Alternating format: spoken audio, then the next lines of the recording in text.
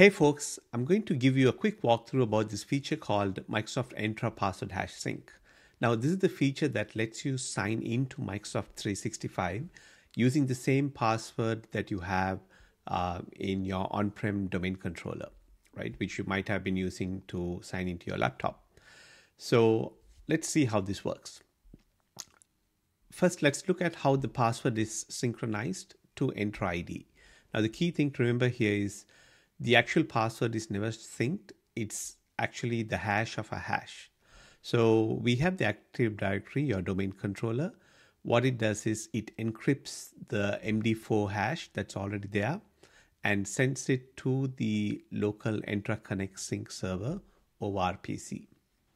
Now the Entra Connect server decrypts the MD5 envelope and it takes the MD4 and does a number of things and finally generates a SHA-256 hash, right?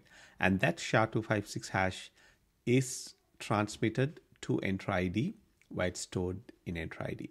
So that's the first part. And this happens whenever your password is reset. This keeps happening with the Entra Connect sync.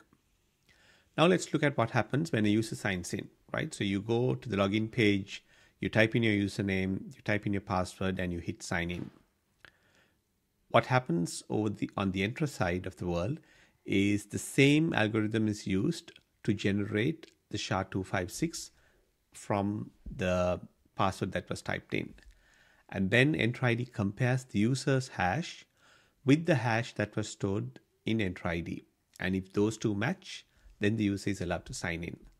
So this is how Entra ID allows users to sign in without even knowing what the original password is right? And the same thing is used for leaked credentials as well. When we find uh, leaked credentials, we apply the same algorithm and then compare it against the stored hash to see if they match. And if they do, then we know that the password has been compromised, right? So that was a quick walkthrough and I hope you like it.